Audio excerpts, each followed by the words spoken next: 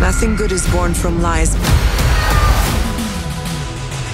I love Kristen Wiig. We have this beautiful friendship.